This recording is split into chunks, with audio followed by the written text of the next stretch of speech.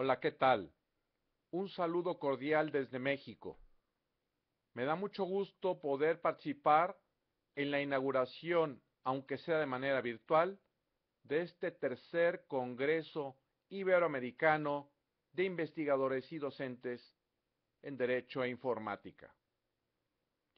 Lamento mucho no poder estar presente con ustedes, pero es que seré motivo de un homenaje en razón de mis 30 años de la consecución del grado de doctor en Derecho, especialidad Informática Jurídica y Derecho de la Informática.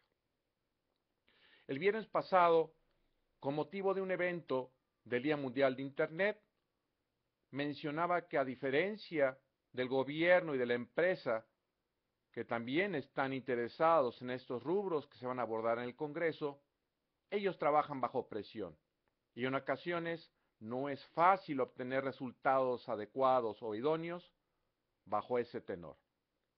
Sin embargo, nosotros, investigadores y docentes, tenemos de algún modo la posibilidad, yo diría la obligación, y un poco más liberados de presión, de tratar de derivar nuestras investigaciones, nuestros artículos, nuestros estudios hacia resultados muy concretos que identifiquen problemáticas y que sobre todo constituyan elementos de aporte vis a vis solución a los problemas que eventualmente engendre el buen uso de estas tecnologías de información y comunicación en el derecho.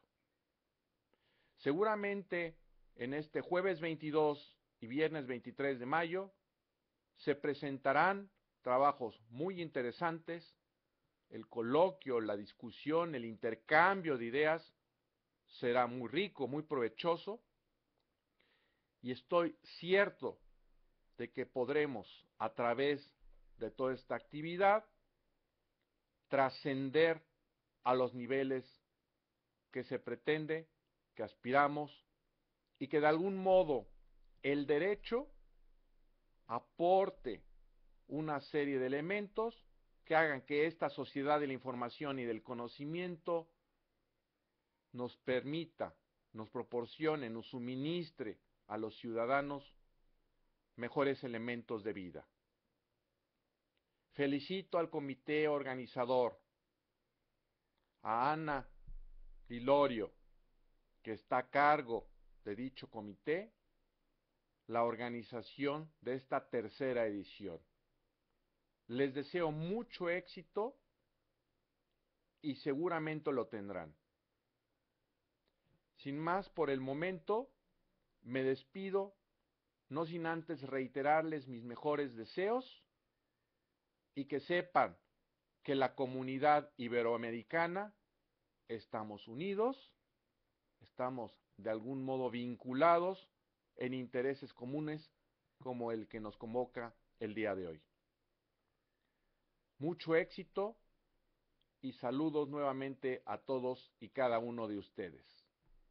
Enhorabuena.